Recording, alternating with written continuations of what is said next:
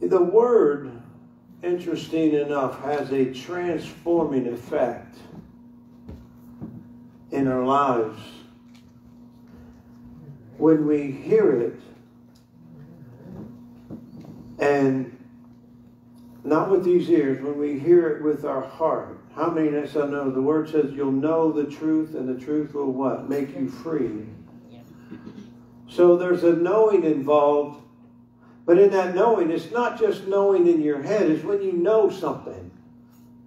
When you really, when you just know something, you act on it, you speak it. I mean, you know that you live at a specific address. You act on it, don't you? You speak it. There's no confusion at all where you live. And that's the knowing I'm talking about. When the word becomes something you know, it actually the word is called light. It have you ever been in a conversation with someone and you say, oh, I don't see that. And then all of a sudden, oh yeah, I see that. I see what you're talking about. You see what I'm saying? Because it's it's something it's like a light. The light has come.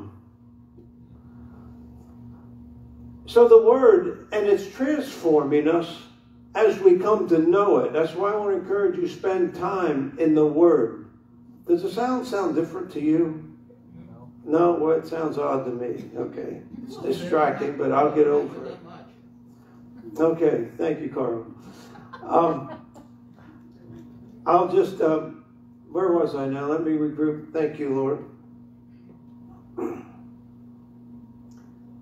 Think about this transformation that's taking place as we hear the word, giving it attention, giving it the honor that it deserves. What is it transforming us into? Have you really ever thought about it? Yeah, we read, yeah, into his image meditate it. Take a Selah moment. Think about what his intent for that word is to change us, transform us into. It's to transform us into God Himself. Just like God. Have you ever thought about it? Look at it in that light. God said in the beginning, this was his heart, his mind from the beginning, that we would be made, created in his image and likeness. In other words, just like him. That's an amazingly deep thought, isn't it? Take a seat, let that sink in. He, his word will change us into himself. Someone just like him. Something just like him. That means there ought to be a glory and a light radiating out from us. Our, our, the Bible say we are to let our light shine? We are vessels of light. There ought to be a difference when one of us walk into a room.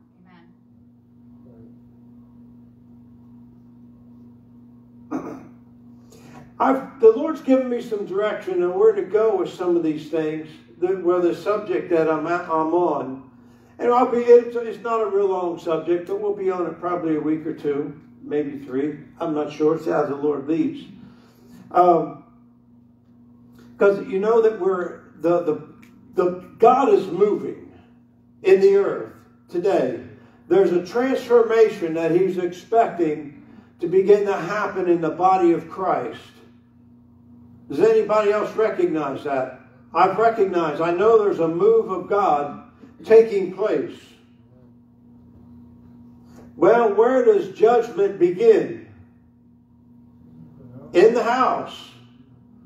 So some of these things will be transforming. Some of these things that I'm going to be speaking on will build you up. Some of these things are very sobering thoughts because it's the Word. But be encouraged because all the meanwhile, his intent is to take us into a higher place That we begin to walk in a higher realm than where we have been walking in. Many of these things we'll find out that we already know them, but they have slipped. I think I got somebody's attention at that time. So I'm going to start. Define Matthew 6, please. We will be going a few places in the Bible this morning as I begin to lay some foundation for this. It actually began several weeks ago, but we never got really, I didn't get too far in it. You probably have heard some people have wondered where did that wolf teaching come from? Well, it came from where we're going right now. How many ever heard of the wolf in the Bible? Do you know who he is? It's Satan and his demons. It's called the spirit of division. The evil one, the divine, the uh, deceiver from the beginning. Or you could call him the Antichrist. You know what that means? Break down the word anti. Christ. What does Christ mean? Christ means the anointed one and his anointing. The anti anointing. Anti Jesus. Anti anointing. He's out to destroy, remove the word. He can't destroy it, but he can remove it. See, Satan has no power. His greatest power is deception. And he cannot manifest himself like any other spirit without a human body to respond. Do you realize that? He needs us to respond in order for him to be manifest in the earth. So he works in our minds, and it's very gradual. It's kind of like I, I heard um, Reinhard Bonnke use this illustration. I think it's wonderful. How could a, anybody ever seen came up to a very very large ship in the water? I mean, it's almost like it's like bigger than buildings. How could a single man move a ship? You think it's possible? You think you could back up and run as hard as you can, like a linebacker football? I guess it'd be linebacker, I'm not that familiar with football. I like to play it, but I don't care to watch it that much. Uh, you think you could back up and charge it and slam against it and have an impact and move it? No. No. How would you move it? Pressure. Just steady. Just start leaning on it. And little by little, it'll begin to move. I mean, if Satan came out here, if he could, with his red suit, his horns, and his pitchfork, and jumped in front of you, went boom. We would know it was him. We'd recognize him in the room, wouldn't we? So, what if he comes, he uses this method of just leaning a little bit of pressure? What do you think would happen? the anti anointing, the antichrist would begin to manifest.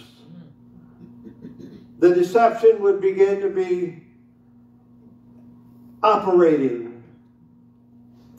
what did I say to go? Matthew 6, right?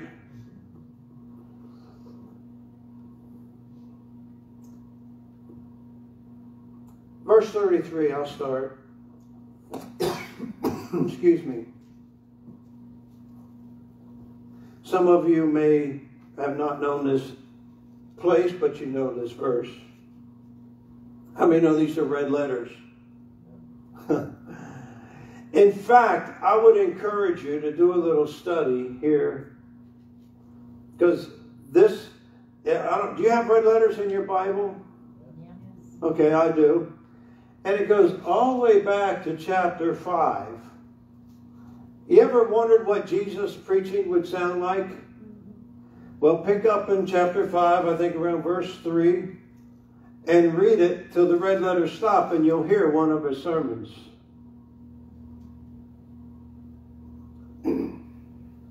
You won't have to wonder anymore. You'll begin to hear it. You know, we do need to spend time to get to know the Word. That is getting to know Jesus. That is getting to know our God, our Father. You know, it's, it's kind of like with the songs we sing. I don't want to sing about God. I want to sing to God. How many of you would feel, how would you feel if I came into the room and I just started talking about you rather than talking to you? You feel kind of left out, wouldn't you? we should get to know our God. We should get to know His Word. He said, Seek ye first the kingdom of God and His righteousness Remember, we did a little study on righteousness. That is, the Amplified Bible says, Seek ye first the kingdom of God and his way of doing things and making things right. How many know there's a lot of wrong in this world? Can his word make it right? Can he make your life right? So we would have to learn his word and not just his power, because this book really isn't about his power. It's about his commitment to his men and his willingness to, to show his power on behalf of his men. Have you ever realized that? It's not a book about his power, but I'm telling you, he's willing to use it on your behalf. The Israelites never entered into the promised land. Do you know what that means? Until the next generation. The promised land is entering into the blessing that we have in the new covenant. Remember Galatians 3:13 and 14. We were there for a little while. Christ has redeemed us from the curse, having become a curse for us, for it is written, curses every man who hangs on a tree, so that the blessing of Abraham would come upon the Gentiles. That blessing was the promised land of everything you ever needed provided for you. Your health, your wealth, your prosperity, your dominion in the earth. How many know Abraham had some dominion? I mean, his own household whooped nations. Went out and fought nations. His own household and his servants. How many know that's an influence in the earth? Was that an example of the body of Christ? Let me ask you, is that an example of the body of Christ? And he gives us here in these red letters that I've been referring to, from Matthew 5 to Matthew, I believe it goes to 8. 7 or 8. I know it goes through 7. and he gives us some important keys to walking in that dominion, to uh, laying hold of our inheritance and the blessing of the Lord. He says, Seek ye first the kingdom of God and his righteousness, his ways of doing things. That's very important. And we also brought out the righteousness also is the very nature of God. Do you know what I mean by when I say the nature of God? The nature of a thing. I, I, I had it I had it written down, but it's like you know, by nature, the nature of a bird is to fly south in the wintertime. It has a nature. The, a dog has a nature. Do you know what I'm talking about? Going back to really what's inside and who he is. Right? Well, the nature of God. Seeking, we got to know because, because of the curse, the fall of man, the fall of man created a new nature inside of man. Do you know that? We fell, mankind fell to the depth of curse. And Jesus came and gave us the, the privilege of being reborn on the inside so that we take on a new nature. And now the transformation, and that's the first step. Now this new nature needs to be developed so that we learn how to walk in his ways of dominion. The kingdom, that's the king and his realm of dominion. Do you know you have authority in the earth? Do you know that you have dominion over sickness, over fear, you, over the curse that's in this world? Do you know that? You have dominion, believe it or not, over the spirits that are influencing people to come against you because it's affecting you. Do you realize that? If it's affecting you, it has to do with your world, so it affects your realm of dominion. You can take authority over somebody attacking you because it's not that person doing it. There's a spirit behind it that's influencing them that they yielded to, and that's the spirit that's attacking you. Do you realize that? So seek ye first his ways, the kingdom of God, this realm of dominion of taking authority. Do you know if somebody's holding back money that's owed to you, you can take authority over that spirit and get that money released? Let me ask you something else. See, this is the principle of sowing that Ed talked about. Because of this realm of dominion, this kingdom that we've been placed into, this realm of dominion, his way of operation is the wealth of this, of this world belongs to the body of Christ. I can sow a seed because this is his ways. I can sow a seed in faith and that will cause wealth to come to me. Did you know that? That is a harvest of something I've sowed. As long as the earth remains, there will be seed, time, and harvest. Do you know that? See, so there's ways of operation in this kingdom. We're not just a group of people that come to church and, okay, feed me, hear me word, and I'll walk out. We are learning, getting that word put inside of us so we are transformed into his image. How many know God is not defeated? Can you defeat God? Well, should this world or these demons be able to defeat his children? No.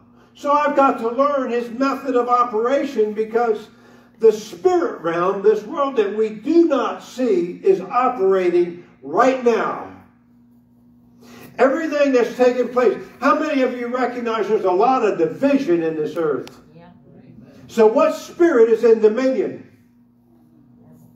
But you realize we are the ecclesia of God. We are the ones that God has ordained and sent out to govern this world.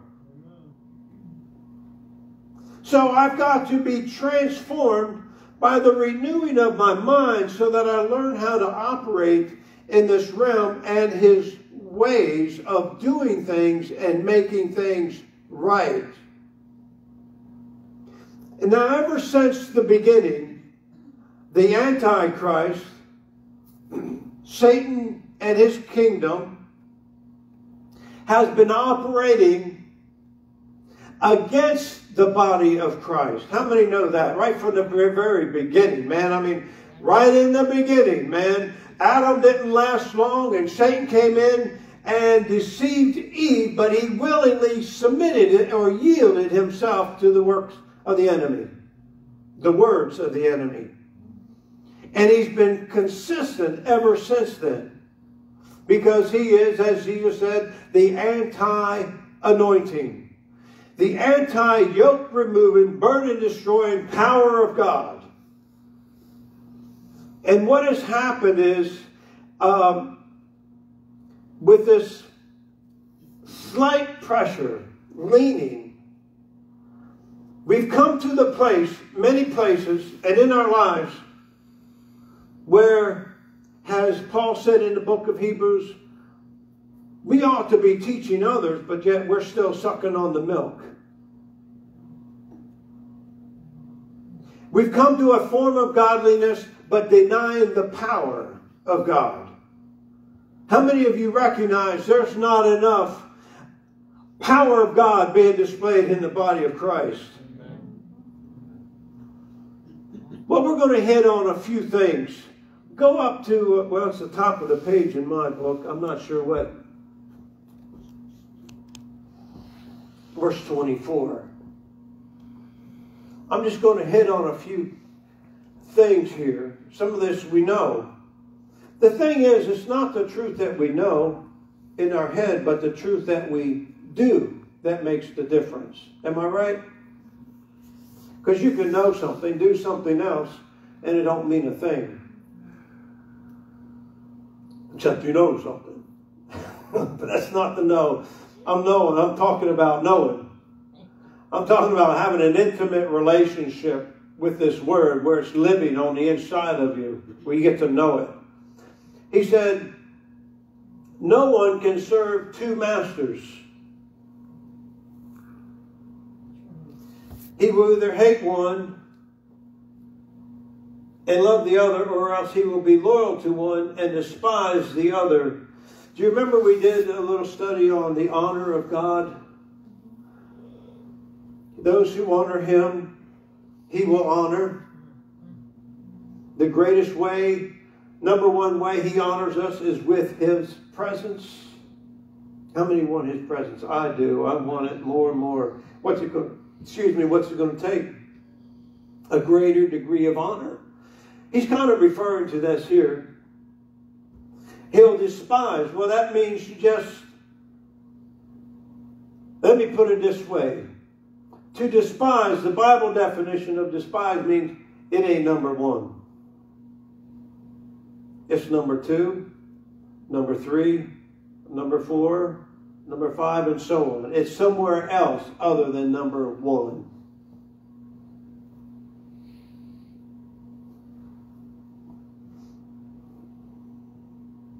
Because you cannot serve God and mammon. Let me tell you, the biggest and the, the biggest, what's the right word, Lord? Well, God said, He said, You shall have no other gods before me. We, you know, we, we tend to think, well, you know, Buddha, Allah, you know, Muhammad or whatever, somebody else, whatever else. The biggest battle you're going to have is you trying to be your own God. In other words, your will your life, your desires. How many of us, don't raise your hand, please, don't raise your hand, have found out you do a lot of what you want rather than what he wants? I can feel that. That's the battle. Right there. G, uh, uh, uh, what's her name? She wrote a book, The Battlefield of the Mind. Joyce Meyer. Joyce Meyer. Because it is. He's the enemy is constantly coming at us with thoughts and suggestions, right? To get you to yield. And sometimes, many times, it's what your flesh wants. Am I touching anybody? and so we end up having another master. My life, my desire. How many know we are to take up his cross and follow after him? And if I lose my life, I will find it. Is that and that's in red letters, isn't it? Is that a true statement? So there's this constant laying down of my will and my desires and making him my master. Let's say um, Chuck gets mad at me. He says a few words, gets in my face. Whether I hit him or not is going to determine who's my master. Whether I say something back at him is going to deter, reflect who is my master. I'm just Chuck. I'm not going to do anything now. I love this guy, but I'm using that as an example because it's so easy. Because we're so used to yielding to the flesh and these spirits that have been. The Bible calls them familiar spirits. You know what I mean by that? They are very familiar with you. They've been hanging around you. They've probably been hanging around your parents for gen- and your grandparents, maybe for generations. They know all about you. They know what makes you happy, what you won't like. They know what buttons to push. And you ever remember the little cartoon, little little devil sitting on your shoulder? Well, the, the enemy he don't play fair. He's a deceiver. So maybe there's this little guy hanging around me, but he'll come over there and jump on his shoulder and say, because he knows what pushes my buttons. And he'll whisper something in his ear. Next thing you know, Chuck gets a thought. So he says it. Then he's back over. You, whoa, you know what he did? you know what I'm saying? Why am I here? I don't know, but that's not. oh, we cannot serve two masters. Let's go to first. Um, no, let's go to uh, John 10. Keep your hand here, finger mark it something, because we may be going back. John 10.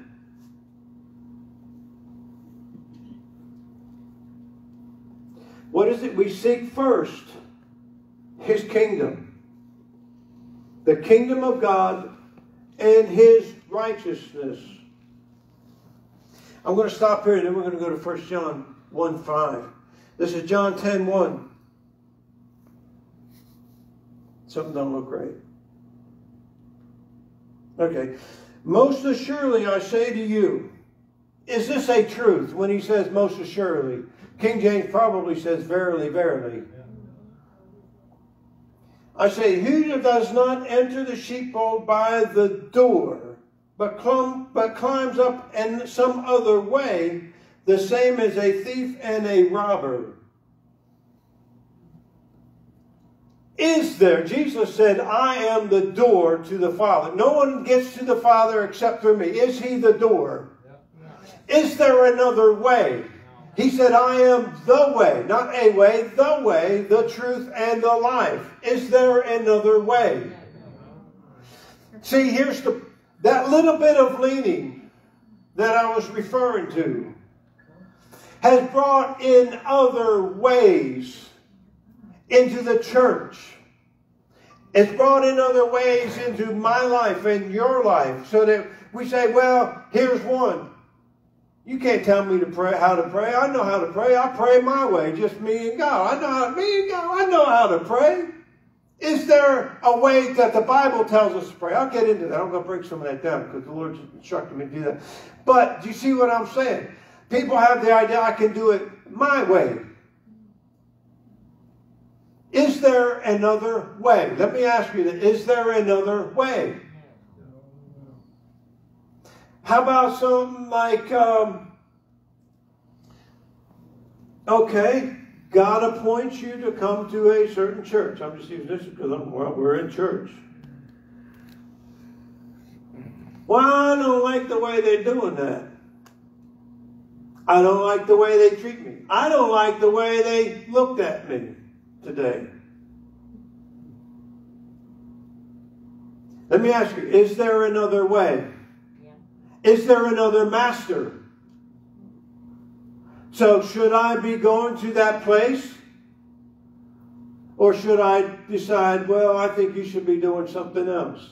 It's interesting because people people come to, you know, uh, you know, we've been doing this for a little while. People come in and at first, you know, everything's good. and then they come up with ideas. Well, I think you should be doing this. I, I think you should be doing that.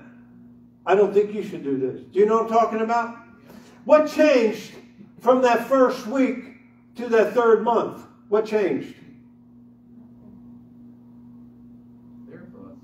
Well, actually, I'm getting ahead of myself because the previous verse, "You should not have many masters," is is um, the eye is the lamp of the soul. What are you looking at? It happens in marriages. It happens in all kinds of relationships and circumstances. You get married. I mean, I think I gave an example a few weeks ago. Man, you're dating this woman, man, and you sit down, and you talk to them. Tell me, and you say, write down everything you find negative about that person. Man, they'll be sitting there all starting, nothing. I just love the way they do everything. Oh. Well, let them get married. Give them a few months. All of a sudden, that blank sheet of paper starts to get filled out. What changed? What you're looking at. The perception. What you're looking at began to change. It's that because He is the spirit of division. He will divide families. He'll divide marriages. He'll divide children from their parents, parents from their children. He'll divide the nation. He'll divide the church. He's constantly leaning. Do you see how he's working? And then what happens is that is another way, isn't it? Mm-hmm. Is there another way for me to get to the Father and to walk and operate in this kingdom of God? There is no other way than by this word. I'm trying to keep this light and easy. and um, go over to 1 John 1. These are some, some of these sobering thoughts. How many of you can say you never knew this? You can raise your hand now. Say you didn't, but because of this pressure that's been leaning to move us out from this realm of dominion. Did you know, I, I, I, years ago I listened to some teachings. Well, it was like a testimony teaching of a. How many know that there are there are ranks and positions of authority in the kingdom of God? The enemy cannot create, so he has to pervert something that's already created. Well, in his kingdom, he has different positions of rank and authority. Sometimes we refer to these as witches, warlocks, right? You follow me? As far as people that have yielded or submitted themselves to different spirits. And anyway, there was a there was this person that had been high ranking in the kingdom of darkness. And it's kind of like the mafia, you don't get out unless you die. They kill each other to promote to, to, to be promoted. They do all kinds of things. And they were given examples of what they did to water down the church because they have it. How many know they are the anti-anointing, the anti-Christ? And, they, and then it was given a story, a testimony. This person, I mean, thank God, you know, God's kingdom is much greater, much more powerful, much more authority than the kingdom of darkness. But anyway, there were many attempts made on this person's life because they had left but thank God, greater is He that is in us than He that is in this world, man. And anyway, they're giving testimony, and she's talking about they would come to, a, they would find, they knew where there was a church or an assembly. How many know we are not a gathering, we are an assembly? We are supposed to be assembling. We just don't come and meet. We are to be assembling ourselves. Do you know what I mean? That means, well, you just don't come in five minutes after service and leave just before we're ready to dump, get over, does it? Because are you assembling? it's kind of hard to practice with this COVID thing, but you know what I'm saying. That means being knit together, coming together knitting together. How many know there is strength in numbers? The anointing multiplies. The Bible said one will put a thousand to flight. Now it's referring to the anointing that's on the born again believer. The power of God. When two come together, we are 10,000 times more powerful in the Spirit. That's one of the reasons God ordained marriage, because you and your spouse walking together in that anointing are 10,000 times more powerful against the spirits of this world than you are separate. Do you realize that? Well, what about if four of us come together? Or six, or eight, or ten, or twenty, fifty, a hundred, hundred, two hundred? How much power can be generated, loosed in the earth? What's really neat about it is, I don't know, have you ever experienced much about being around the anointing? You come in here, let's say, use this place example. You come in here, the anointing is powerful. Right? Because there's a corporate anointing, a multiplied anointing, and a multiplied release or manifestation of the power. Did you know, even though you're by yourself, when you walk out that door, you carry that same power with you for days? I love it. You really? You can you can do that. You come out. And so is it important that we assemble with the same heart, one mind, and one accord? It is very important. But anyway, so anyway, they knew about, the enemy knew about these places of anointing. So they would send in their workers. And you know what they did? They began the smooth move of creating a place for them. Let me explain. Well, they get real friendly with the leadership. And they money starts to come. They start giving larger amounts of money to create a place of influence so they can begin to persuade the leadership. And they would move against the areas of power. In other words, how many know prayer is powerful? So they would say, here's an example.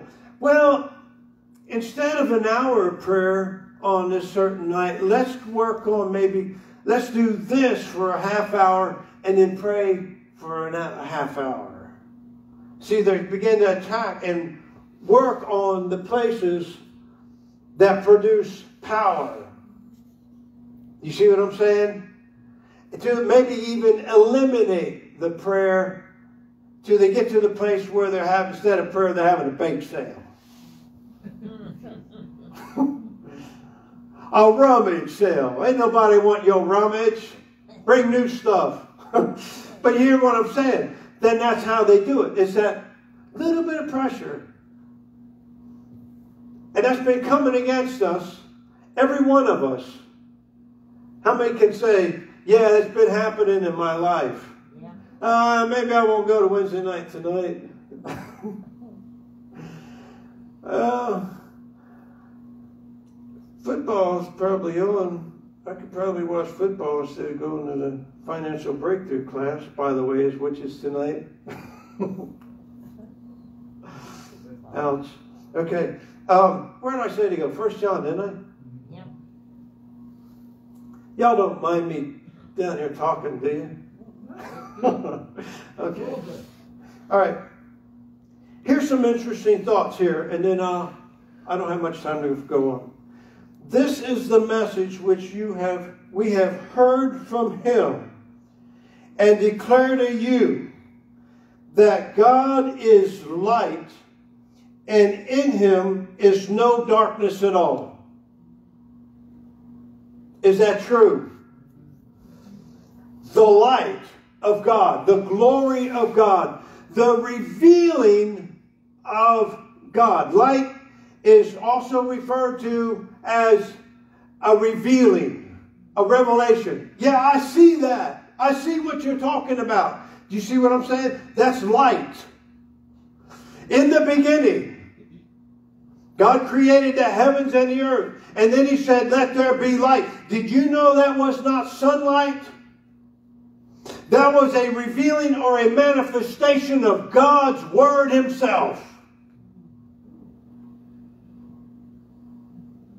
Let the revealing of God on the earth begin. Light be. We are called children of sons of light. In the beginning was the Word, the Word was with God, the Word was God, and the Word was God, and that Word became flesh and became the light of men. There's a revealing. He's declaring to us that revealing light, glorious power of God to us. 2 Corinthians 4 says we have, God has commanded that light will shine in our hearts, the knowledge of the glory of God. And we have that treasure in earthen vessels. How many know you have the glory of God, the Spirit of God Himself on the inside of you to flip that switch? I'm not wondering. Oh, I going No darkness at all. Let me, I'm going to end here. I'm going to leave you hungry because this is really good. Oh, there's so much here. I don't have time. Don't raise your hand because I don't want. But how many of you know what your purpose is? What your calling is?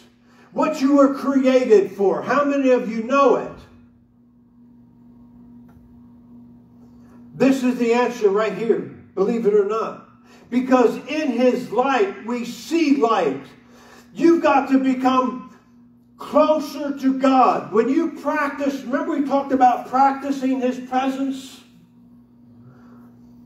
There are times in here His presence are so rich. That's the time you really want to press in and draw close and keep that presence of God among you, on upon you. Because in his light, in the revealing of God, there is also, we see light. In other words, he, the, when we walk in that light, that light, that glory, his presence is being revealed to us, that's when you begin to see what you're calling your purpose and what you were created for. Because in his light, in the revealing of himself, there is also revealing to us. Does that make sense? He goes on to say, there is, if we say, look at, look at this, is, this is amazing. If we say we have fellowship with him and walk in darkness, we lie. He didn't say you didn't know. He didn't say you were ignorant. He said, he didn't say, he said, we're lying. Well, I fellowship with God all the time, man. I mean, all the time I'm in, and you we're buddies, man. We're pals.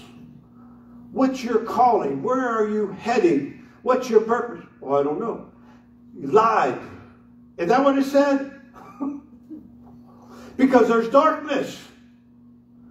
Should we be drawing close to God? I didn't want to go there yet. But should we be drawing close and practicing this presence to eliminate all the darkness? Glory to God. But see, we have this light in earthen vessels. And I'm going to, we're going to pursue God till that light, that morning star begins to dawn in our hearts. Oh, and we begin to know things. Are you with me? Amen. This is where we're heading with this, where the Lord has showed me, and we're going to point out some things that have slipped, some changes, some important keys. So here's, I want to leave you with this. Where do we start? Seek ye first the kingdom of God and his ways of doing things and making things right. In this move of God, I can see it.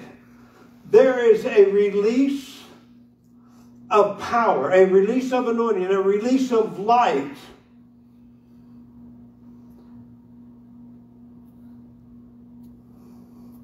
what's the word? To move us into knowing his ways of doing things. there's an empowerment, an anointing being released to bring his body up into a higher realm of dominion. Does that make sense? Let me say it another way. We'll be walking in a greater expression of light.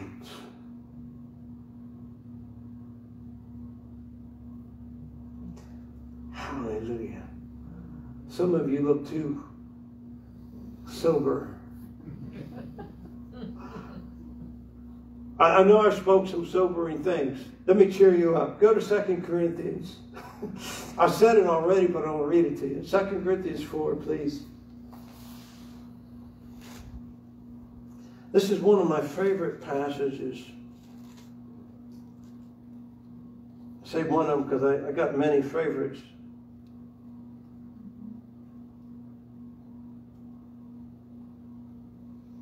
I got to start in verse 1. It coincides with what I'm teaching. I, I'm just amazed that this subject is continually all through the Bible. I have so many references that we could go to. Therefore, since we have this ministry, we have received mercy. We do not lose heart, but we have renounced the hidden things of shame, not walking in the craftiness or the handling of the word of God deceitfully, but by manifestation of the truth, the revealing of his truth. In other words, the enemy's going like this, but we're standing like this in the power of God. And his truth is making us, keeping us free. Amen. The truth, uh, but by manifestations of truth, commending or showing who we are. Truth, commending ourselves to every man's conscience in the sight of God. But even if our, our, our gospel is veiled, it is veiled to those who are perishing, whose minds the God of this world has blinded. Do you know how the blinding happens? There are people, it, it just seems unreasonable. It's, it's, it's, it's their hate for the president that we have right now is overriding sound thinking. What's that mean? They've been blinded. Well, if there's hate involved, what spirit is involved? This has nothing to do with, with the president himself. It has to do, I'm talking about the blinding of people's eyes. They're operating in hate rather than a love. Whether you like the person or not, there's an office there that we need to respect. Let me move on. Who's the God of this age has blinded who do not believe lest the light of the gospel of the glory of Christ, the glory of the anointed one and his anointing, who is the image of God, should shine on him. See, God is bringing us into his own image, that we are clothed with glory. Let me jump down to um, verse 6. For it is, uh, God bless you with long life. For it is God who commanded light to shine out of darkness, who has shone in our hearts to give light of the knowledge of the glory of God in the face of Jesus. See, he's, he's commanded that light would shine in our hearts. I thought this would excite you. it excites me. I, I, I, I really thought this would excite you. He's commanded His glory upon you. He's commanded His glory on the inside of you. Let's take the binders off. Begin to recognize we have one master to follow. Verse 7 We have this treasure in earthen vessels that the excellence of the power may be of God and not of us. Amen. Glory to God. Did I confuse anybody today? No. I don't mean it to be too deep. I try to keep it simple, but I. don't. God wants to pour His Spirit not just in you. You have the indwelling. I'm talking about He wants to pour His Spirit upon you to where we are little glorious lights all over this world. Walking in light where we know all things. Then the Bible said that over there, John. We have an anointing of the anointed one, and we know all things. That's walking in light. I know what my next step is. I know where I'm going. I know what direction I'm heading. We're heading into the image of a glorious church. Amen. Amen. Stand to your feet.